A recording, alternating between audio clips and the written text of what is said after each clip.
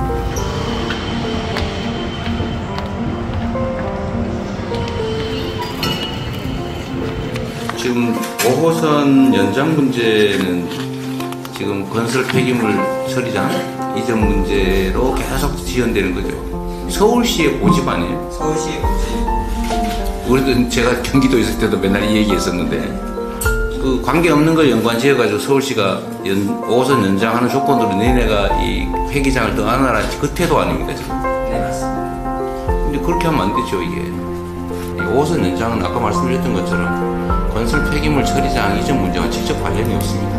모두의 편의를 위해서 수도권 전체의 교통난 해소를 위해서 조금 서로 배려한 그런 마음이 필요하지 않을까 싶고요. 우리 민주당도 최선을 다해서 협력하고 문제 해결을 시도록 하겠습니다. 고생하셨습니다.